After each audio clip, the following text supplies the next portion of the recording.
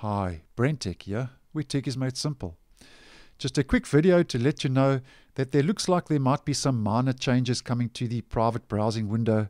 That's the Chrome incognito mode that is found in the Chrome web browser. Now, currently in the stable version of Google Chrome, if you head up to your menu and you click on New Incognito window, this is what the private browsing window currently, currently looks like in the stable version of Google Chrome. And it says you've gone incognito.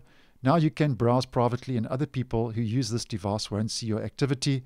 However, downloads, bookmarks, and reading lists list items will be saved. And then on the left here, it says Chrome won't save the following information your browsing history, cookies, and site data, information entered into forms.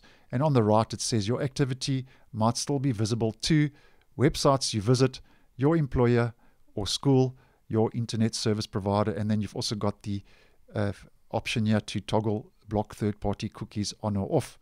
Now, in the Google Chrome Canary version of the web browser, which is a pre release version of Chrome used for testing and experimenting, there now is a flag uh, that can be enabled to change the dialogue and communication that is represented on that private browsing incognito uh, window in the Chrome browser.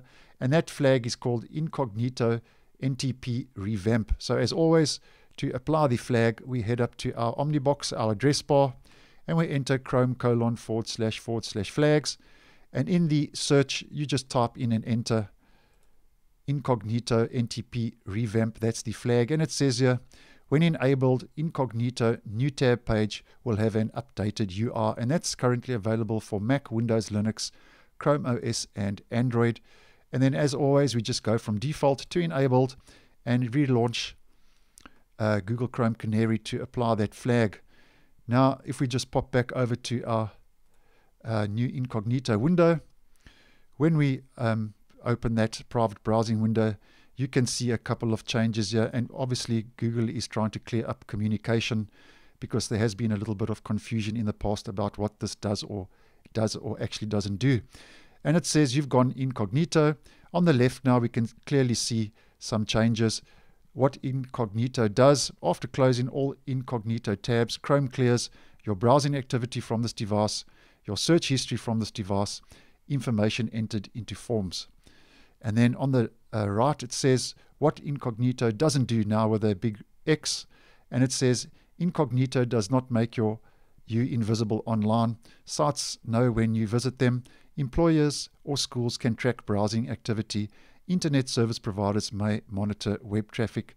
And then you've got learn more, and you can, as just like in the stable version, you have that op- that um, option to still toggle uh, block third party cookies on or off. So clearly, uh, Google is clearing up a bit of miscommunication in the Chrome incognito mode in the uh, latest builds of Google Chrome Canary. So I hope you found this video useful. Once again, thanks for watching, and I will see you in the next one.